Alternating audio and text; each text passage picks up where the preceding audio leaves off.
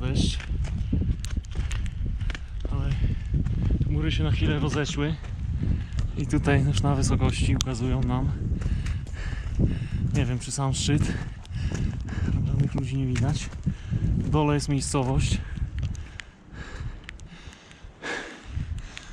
Tutaj pada, gdzie my jesteśmy. Ciemne chmury. Tu widzimy poziom chmur i ponad te chmury nie wiem czy tam nie jest szczyt. Jakiś krzyż jest czy coś.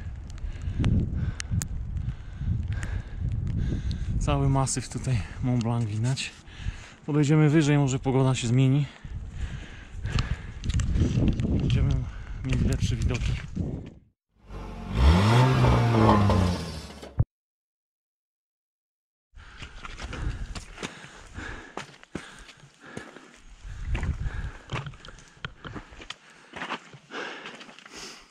Wybraliśmy się, żeby podziwiać masyw Białej Góry. Mieliśmy się wspiąć wyżej, żeby go podziwiać. A się okazuje, że tutaj dochodzimy do miejsca, gdzie śnieg pada. Gór nie widać prawie. Przeciwległych, także nie wiem co to będzie. Idziemy dalej.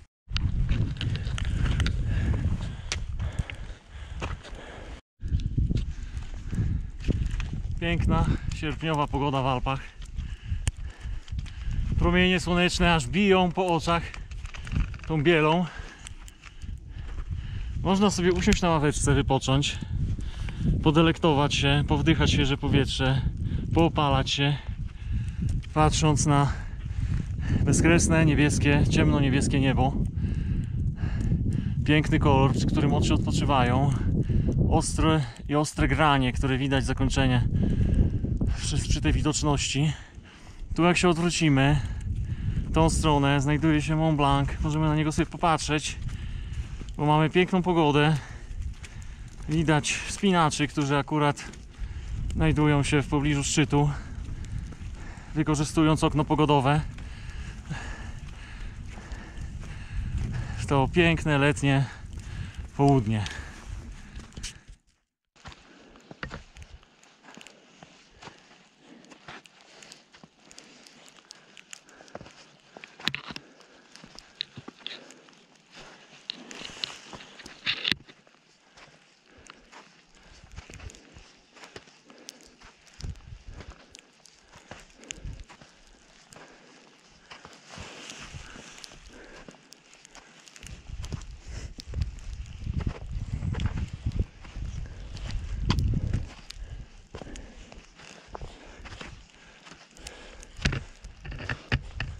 Całe stado.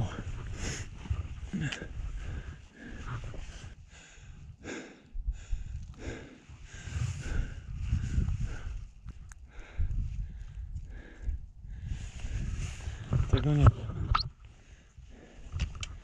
Szlak. Czy tu jest w ogóle jakiś szlak?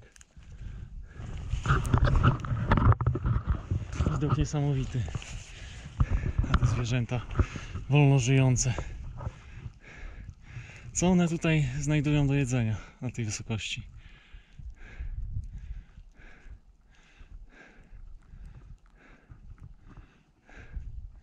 Teraz nie wiem, czy ja mam jeszcze gdzieś dalej iść, żeby jakaś plamka była, która by coś pokazała.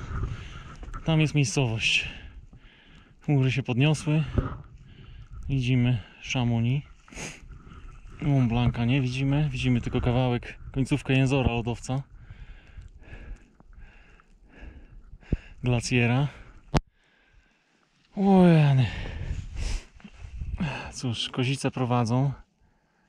Może trzeba iść tak jak one prowadzą.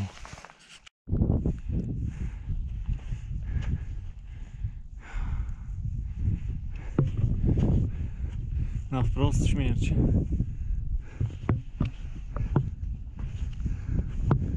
To chyba, żeby nie wychylać się zbytnio.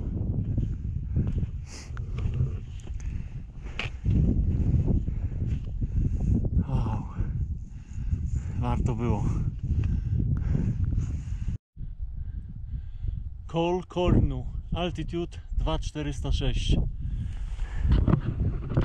I na tej wysokości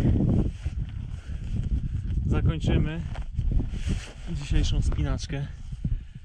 Będziemy schodzić na dół. Zaskoczony jestem całkowicie. Nie spodziewałem się. Zobaczcie ile tu jest śniegu. Przekozica.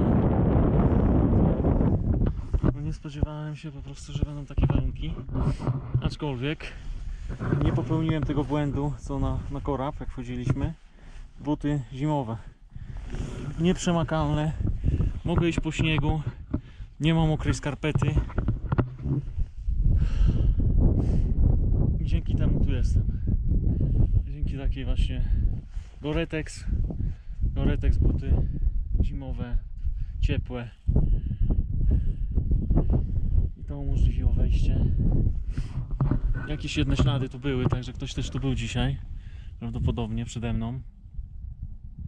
Jest godzina 13.15. Pogoda się nie, nie, nie wypogodziło się. Cały czas liczyłem na to, że zobaczymy Mont Blanc, Białą Górę stąd. Ale niestety nie będę już schodził, bo tu nie ma co tu być na tej wysokości. Nie jest, nie jest to komfortowe. Jak spocone ciało zaczyna się schładzać. Także będę schodził.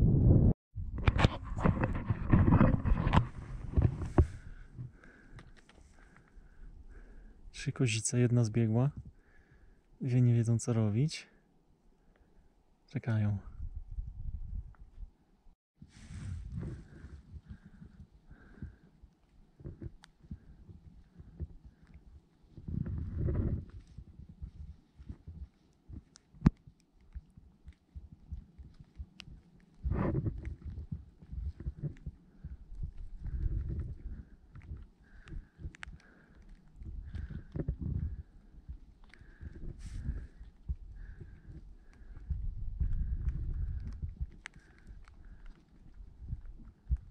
Pięknie.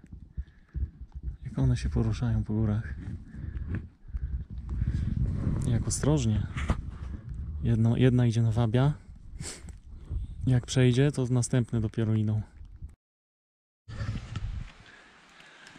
Ostatni dzień w Alpach. Pożegnanie z górami. Dzisiaj wieczorem powrót przez Francję, Szwajcarię, Niemcy do Polski. Pierwszy dzień lata w górach. Pogoda rewelacyjna. Ciepło, słonecznie. Piękne widoki. Także idziemy szlakiem do góry, pożegnać się z Alpami na co najmniej dwa tygodnie. Mały zator na trasie. Mamy chwilę przerwy, nie możemy iść. Takie się tutaj zaczęło już ten alpejskie trochę.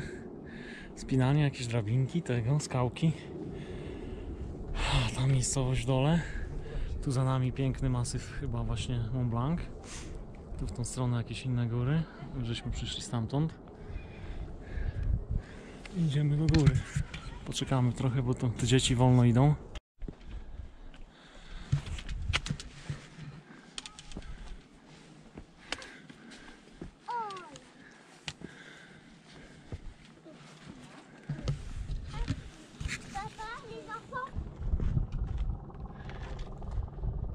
Się na szczycie Tete Aux Vents na wysokości 2140 metrów.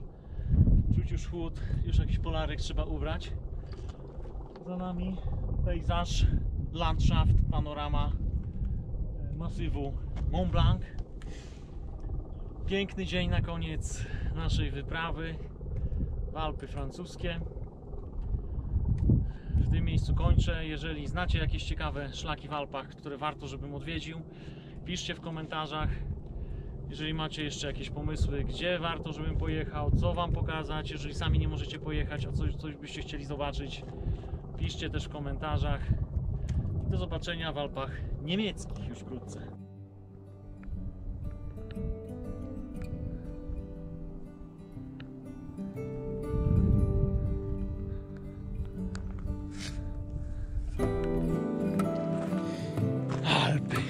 Puxa, meu Deus.